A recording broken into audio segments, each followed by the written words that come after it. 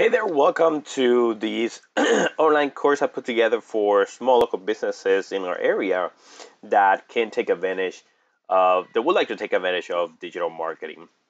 So this course, we're going to be talking about local listings and, um, and how that could benefit people looking for you, right? And increase your local search uh, factors. And probably asking yourself, what local, what's local listing, Leo? Well, think of it as um, as a way to put your business information in, in many different places for free. It's like having many different billboards online for free. Okay. Um, there are some there are some that are paid, right? But the majority are free. It just obviously takes uh, time to get this set up. Either it's your time or somebody else's time that you can pay to do it for you. All right, so um, there are more than 50 directories websites that publish information about small businesses right? If you, for example, go and do a search for online citation, that's what it's called as well. Citation. Uh, you're gonna see many different um, resources about that. We'll talk about that, right? Um, what else can we do? Online citation. If you Google images, online citation is that one online local directories that's another name. If you google images you notice that online local directories is basically a bunch of them right? Um, so you're not gonna obviously uh, stress out about all of them and that we're gonna discuss that a little bit later uh, but you're just gonna focus on some that are important to your industry you say over here there are more than 50 directories. Again you don't you don't worry about so many different. You worry about some that uh, are related to your industry and to location. So these online listings are called from public records. Yeah right? These these listings over here are basically public records of your information either because you put it there as a business owner or somebody else did it. Uh, and some other some some other times they just pull data from other resources. Um, so as you can see, right, companies can publish it to the internet or somebody else. So make sure your listings are working for you to generate better search rankings and foot traffic. Uh, in this video, we're gonna learn is about business listing uh, basics, how to see which sites list your business, how to claim or add your business to online directories, uh, what information business listing sites have about your company, how online listings can help your business reputation, how incorrect listings can hurt your online reputation. So business listings basic, right? So the basic of business listing is basically making sure that you understand what the concept is, right? It's basically like having your business listed at uh, several um, online directories, again, that are related to your industry. They have some type of reputation. So for example, restaurants will be good to be listed, have their name listed or business name listed on Yelp, for example um, Grubhub, and so many other ones. I'm gonna show you in, in some other videos in a little bit. What are some, uh, or in this video, um, what are some of the good places to go and find that, right? But um, the basic of, of business listing, um, listing basics, right? Business listing basics, the basic of that is again, you understand these are online directories that uh, where your business is listed, where people can find information about your business. Uh, so how to see which sites list your business. So one thing that I like to do is have your um, business go um, uh, use sites like Yext.com. Okay, I like using sites like Moz Local. Uh, I also like using um, what another big one is Manta and um, uh, the way you use this one so you can use different ones right? You can i'm sure you can google some other ones but I, the way i like using this let's say i'm looking for uh, mechanic in fairfield. Mechanic in fairfield. And let's say i come up with this one right? Auto repair solutions. So i'm gonna go check their listing. And here's the listing. So what I like to do is I like to see what the listing looks like in, in Google if they have one. If they don't have one, that's unfortunately. Um, but if you have your listing, go ahead and do that. And the reason why I grab Google because it's one of the most populars out there, and most of these sites they pull in the information mainly from Google first, and then they go and scan. So what you do, right, is free to do. Just put your name information there. But if it's a single listing or multiple business, put the phone number that you have listed, and then that's gonna give you results, right? It's gonna give you results to see how your listing is doing in multiple places. Again, don't worry about all these places over here because they may not be related to your industry or even to your location, right? Um, instead, focus in a few ones that, again, we're going to go over later how to find what the best are for your industry um, that uh, you can leverage and use. So, yep, that's about 50% optimization rate, meaning about 50% uh, have the bad information. And we saw here some highlighted in red, right, for this specific business. Shout out to Auto Repair Solutions for good. they don't know I'm doing this, but shout out to them, right, for um, um, uh, being a sport and, and, and being a a guinea pig, even though they don't know it. So, as you can see, this business over here, Foursquare is different. Um, the X knows they don't have one. Uh, there are some differences on the address, right? Some have Fairfield, some other ones done. It might that may be due to what it, the, this allows, right? Some may not allow the, um, the, the the city, state, and all that. So as you can see, there's some discrepancies. Um, Moz Local, I like that because it gives me some additional information. If I go to resources, Moz Local, um, Moz Local, check my business listing. I like the way they do it because they provide some additional feedback. So uh, yes, I'm in the United States, my company name, uh, street number, and number, postal code. So we talk about repair solution, Auto Repair Solutions, um, what else do we ask for? Uh, street num street and number. So street and number. And zip code is 94533. 94533. Check now. Online search for your company. Please wait. This search can take up to 30 seconds. So I like the way they do it because um, it, it gives, in some instances, it, it gives some uh, additional information about, well, I don't know, they change it a little bit. Hmm. Okay. Improve, share result, change location, July presence. So it looks like they changed their, the way they do it. Um, incorrect, correct. Hours, photos. It kind of tells you, right, what, what are some of the things that you, you need to add.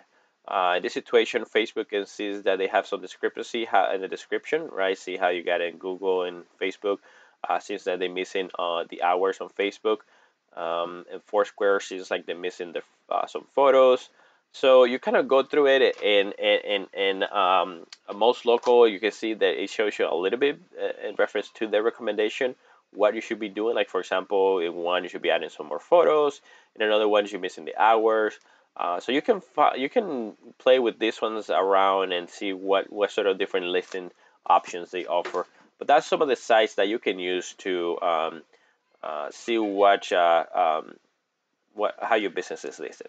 So how to claim or add your business to online directories. So very simple, right? If if you don't have Google My Business, I would recommend you to start with Google My Business. Simply uh, go to Google and type in Google My Business and uh, just go through it. Just go through the process and, and add your business through it, right? It was going to guide you step by step on how to do that. Um, very simple process. I'm sure you can watch YouTube videos on how to do that. Uh, add or claim your business. So if you, um, if for some reason somebody else already created a profile your business, that's why it's called claim, right? That's why you're going to claim it. Um, it's basically what it's going to do is going to um, send an email to the person that opened your business, and if they approve it, um, then obviously you become the owner. Or I believe that it will be automatically approved to you if nobody approves within if, if nobody um, denies you your your request within seven days, or otherwise um, call them for assistance. Okay, FAQs and support. You can check that section. Um, Yelp you can do that, right? You can go to Yelp business Yelp, for example, business.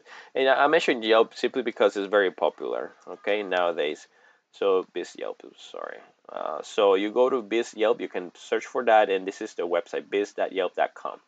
Uh, and even if you go to the main Yelp website, it tells you a, a little. You will see a section that will say, uh, you know, uh, your business owner log in here to to your business account. Um, so you can definitely go. And the other way to do it, right? You can just go one by one to the different popular sites and do that process. Or uh, you, what you can do is you can find services, or you can call, you can hire agencies that do that, like Digital Track.co, right? Um, and, and to help you out with that. so, what information business listing sites have about your company? It will have the uh, what what you put into it, right? The one thing I would recommend you to do is um, is for a search is to do a, a spreadsheet um, a spreadsheet that get a, pull up a spreadsheet and find some and, and, and write down everything right write down everything about um,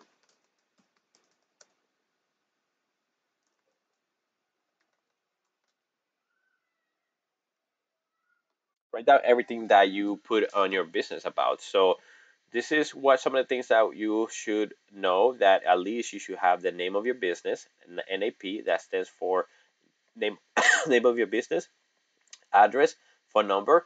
Now we recommend you to add a W there for website. But basically, that's one of the main things you should have. And obviously, hours if you have it, a description about your business, photos if you add, make sure to add all that uh, because all that is just going to help you increase the uh, the chances to come up on the top of the search results. Yes, it's more work, it's more time, um, but you don't need to do all at once, right? You, you can do little by little, or you can just have you can just pay somebody to do it for you. But um, at least you should have the name of your business, the address, the phone number, and the website. Don't forget the website if you have one. Plus, you should have one. So, what information business listing site have about your company? Whatever you put in it, but uh, again, make sure to have NAPW name, address, phone number, and website. How online listings can help your business reputation. So again, I mentioned uh, that a little bit about that already, right? You the the only fact of having your business um, um, listed will allow people to go go into them and actually talk about your business. Give give make sure uh, give recommendations about your business, right? Make sure it, it's it's a way to help others in the community to understand if your business is does a great work or, or not, right? It, it's it's a it's a great way to um, allow customers to give you feedback of how you're doing, right? Uh, you always want to keep improving, uh, but on the other on the other hand, it allows you to appear in the map, so it makes it easier for customers to find information about you. So, for example, if I go find look for dentist, um, Fairfield, California, then obviously that will um, allow you to be on the map, right? In Google, especially since Google is the number one search engine in the world. If you're not on the maps, it's like you don't exist, right? Um, the only way that people will find you is like if they know the word of mouth situation. Why just limit to yourself to that, right? Instead, so many people are looking on on Google on the mobile devices have your business listed on the map. So that's another way it helps. Another way it helps, of course, is that you keep increasing your odds to show up in the first place, especially if people are leaving reviews, you're asking for reviews, uh, which in the end you end up help, helping most of your customers if you really truly believe in the products or services that you provide um, by obviously appearing towards the top. Uh, it's gonna definitely help you rank up higher um, if you are utilizing um, uh, uh, the, the fact that you have your business listed in, in different uh, online directories that according to your industry and your location. Now, obviously, not for every industry that's going to be enough because if the industry it's very uh, competitive, that's where you're going to run into trouble because a lot of people is going to be actually advertising and, and, and doing a lot more to stay on the top. So how incorrect listings can hurt your online reputation. So obviously having the wrong information is frustrating, right? Think about uh, your business um, having different hours during a holiday and a customer is coming to your location and how frustrated it could be for a customer is that uh, the only fact that your website or no, nowhere in the internet was listed that you were going to have shorter hours or, you, or that you were going to be closed due to the holiday, it's frustrating for customers to go there and find, only to find out that your business is closed.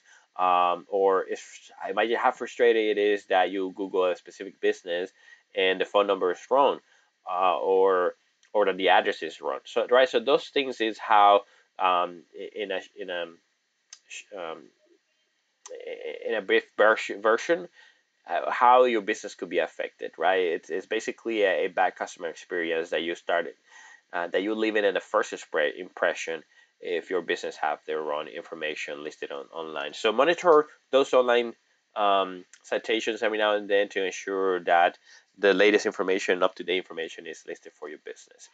Uh, so that's it for this first video.